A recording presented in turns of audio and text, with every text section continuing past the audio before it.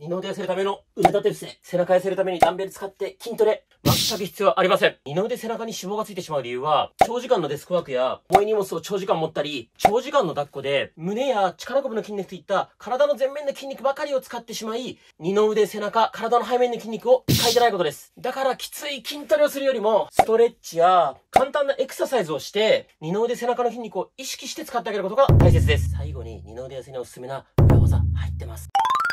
スマホは床に置いて、座ったまま、右手を左斜め上にグッと伸ばす。左手を右斜め上にグッと伸ばす。これ繰り返しましょう。なるべく遠くに向かって手をグッと伸ばしきる。スピードよりも遠くまで伸ばす。指先誰かに引っ張られてるイメージでグッと遠くへ伸ばす。スピードよりも遠くへ。ふ繰り返して、呼吸止めないようにして、あぐらでも正座でも長座でも椅子に座ってやっても大丈夫です。やりやすい体勢でやっていきましょう。遠くまで手をぐっと伸ばしきる。OK。そしたら次、セルフハグです。限界まで手をぐっと広げたら、自分自身をハグしながら猫背を作る。限界まで手をぐっと広げたら、自分自身をハグしながら猫背を作る。これ繰り返しましょう。スピードよりも限界まで広げて、しっかり自分自身抱きしめて猫背を作る。これ繰り返しましょう。スピード重要じゃないですよ。頑張って。しっかり開ききる。ラスト1回。ギュッとセルフハグ。よし、オッケー。そしたら次はパンチです。真横にパンチ。真横にパンチ。スピードよりもしっかり肘を伸ばしきる。伸ばしきる。伸ばしきる。なるべく遠くに向かってギュッと拳を突き出すイメージです。あんまりね、こう猫背になっちゃうと効果半減しちゃうので、なるべく骨盤立てて姿勢を正したままやれるとより良いと思います。座り方は本当にあぐら正座何でもいいですからね。やりやすい座り方で OK です。よし、OK。そしたら手をこう肩に添えます。このまま大きく後ろ回しします。こんな感じです。後ろ回し。え早く回すっていうのも、これも普段動かさない範囲で大きく円を描く。後ろ回ししてます。呼吸を止めないようにしましょう。スピードよりも普段動かさない範囲で大きくですよ。で、肩バキバキなるよって方は、痛みがなければ大きく回して大丈夫です。痛みある方は、痛みない範囲でゆっくり小さく回していきましょう。よし、OK。そのまま逆回しいきます。今度、前回し、こっち向きですね。ゆっくり大きく回していきましょう。呼吸止めないようにしましょう。スピードよりもなるべく大きく回してくださいね。今ね、これバキバキなったりとか痛みがある方、これ最後にね、もう一回回すんですけど、かなりね、変化出ますので、ぜひ楽しみにしててください。今の感覚覚えておいてくださいね。なるべくゆっくり大きく回す。よし、OK。よし、そしたら次は、右手右肘を床について、左手万歳しましょう。万歳です。斜め前ぐらいに向かってぐーっと手を伸ばすと脇腹脇の下伸びる感覚があると思います。指先誰かに引っ張られてるイメージで遠くに向かってぐーっと指先伸ばしましょう。斜め前に倒して伸びないよって方は真横に倒したり、もっとさらに斜め前に倒したりとか、いろんな角度で試してみると、脇腹、脇の下、伸びる感覚がある位置があるんじゃないかなと思います。もしもきつかったらね、えー YouTube のこの動画の再生速度を速めたり遅めたり、各種目の最後の10秒サボったりしながら、ズボラにね、やっていきましょう。OK です。次逆いきます。左手、左肘、床につきます。で、右手を万歳します。脇の下、脇腹伸びる感覚あると思います。指先を誰かにぐーっと引っ張られてるイメージで遠くに向かって伸ばしましょう。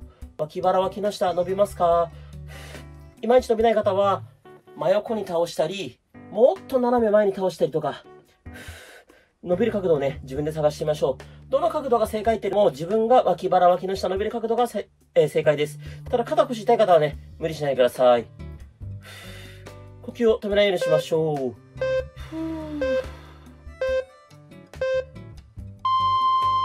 う。よし、OK。そしたら次、あぐらの状態から、右足を左、こっちに持ってきます。この右足をお腹にぐーっとつけます。右のお尻伸びる感覚あれば OK です。余裕がある人はピンと背筋伸ばすと、より右のお尻伸びてきます。このポーズできないよって方は、この右足、もうちょっと前。この辺でも OK です。右のお尻が結露伸びてれば OK です。頑張れる人はなるべく右足をお腹にしっかりつけて、ピンと姿勢を正すと、右のお尻ね、かなり伸びてくると思います。で、この時ね、肩にあんまりこんな風に力入んないようにしましょうね。で、呼吸も止めない。僕と同じポーズをすることが正解っていうよりも、右のお尻は伸びてるって感覚あればそれが正解です。よし、OK。逆行きましょう。左足を右、こっちに持ってきます。で、この足を両手で抱えます。左のお尻、ストレッチかけていきます。伸びますか？伸びる感覚あれば OK です。きつい方はこの左足もうちょい前。この辺でもいいです。頑張れる方はしっかり足をお腹につけて姿勢を正す。これね、二の腕背中痩せの動画なのに、なんでお尻のストレッチするかっていうと、人の体の中でお尻の筋肉って体積が最大なんですね。一番体積が大きいんで、もう代謝を上げる、えー、痩せたいんであれば、一番ね、大きいこのお尻の筋肉を、えー、柔らかくする。もしくは使ってあげるとね、めちゃめちゃ効果抜群です。基本的に全身の代謝が上がるので、二の腕背中ももちろん痩せやすくなります。OK です。そしたら次はですね、まあ楽な状態で座って、手を横に広げます。で、この状態で、くるくる、ねじる、ねじる、ねじる、ねじる、ねじる。あんまり高い位置でやるというよりも、まあ、斜め下ぐらい、これぐらいの角度でやってあげるといいと思います。で、NG パターンは、こうやって上半身が動いちゃうと NG です。上半身は固定して、肩から下だけ、腕だけねじるイメージです。あともう一個 NG は、あんまり高い位置だって、肩がこうやって上がっちゃうとこれ、全然肩の筋トレになっちゃうので、肩は下げて、普段動かさない範囲までしっかりねじる、ねじる。早くねじるっていうよりも、普段動かさないまでしっかりねじる、ねじる。ねじる。呼吸を止めない。ふぅ。オッケー。きついですね。そしたら次、万歳しますよ。限界まで万歳して、手のひら外向けながら肩甲骨寄せる。限界まで高く万歳して、手のひら外向けながら肩甲骨寄せる。限界まで高く万歳、手のひら外向けながら肩甲骨寄せる。どうでしょう？大丈夫ですか？限界まで高く万歳、手のひら外向けながら肩甲骨寄せる。これは普段動かさない範囲までしっかり万歳して、しっかり肩甲骨寄せることが大切です。頑張って。呼吸止めないようにしましょう。万歳して。万歳して。きつい人はね、途中途中サボりながらとか、再生速度調整しながらやってみてください。よし、オッケー。えそしたら次はですね、手を下ろしたまま、この肩、限界までギュッと上げます。限界までギュッと上げて、ストンと落とす。限界までギュッと上げる。ストンと落とす。これ繰り返しましょう。上げる上げる上げる。ストンと落とす。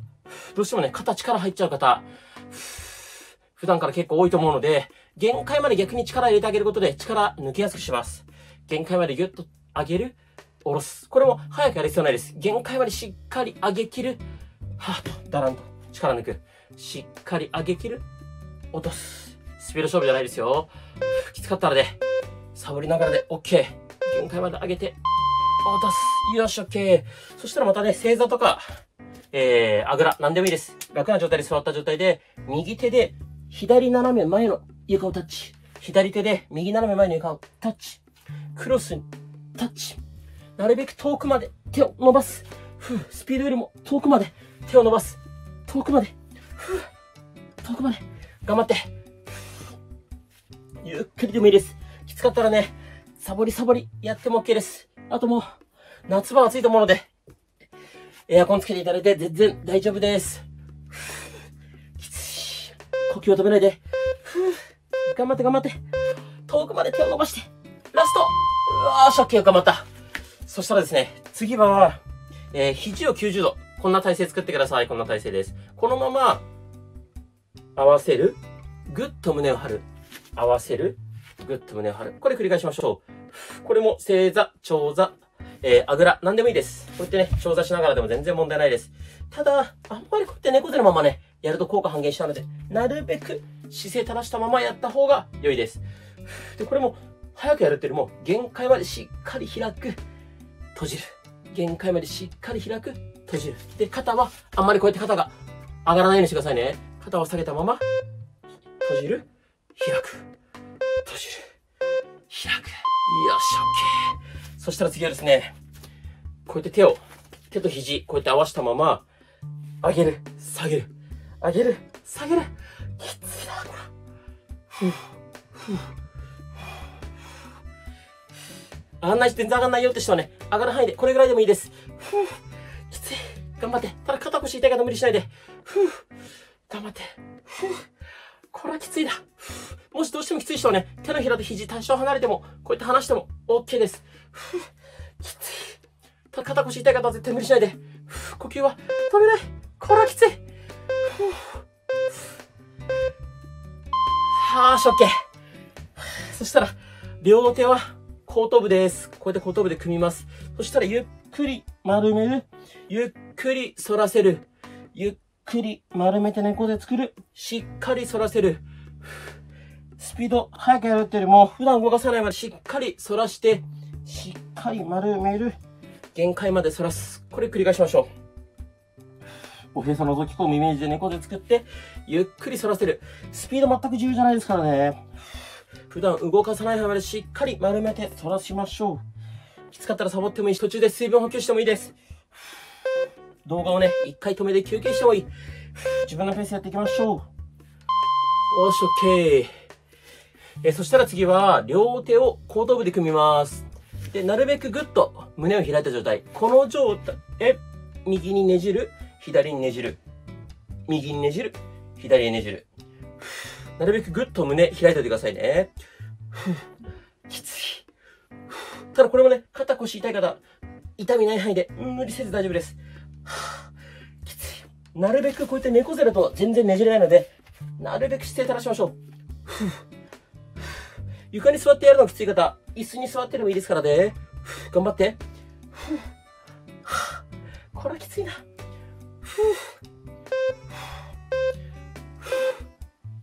頑張ろうと少し。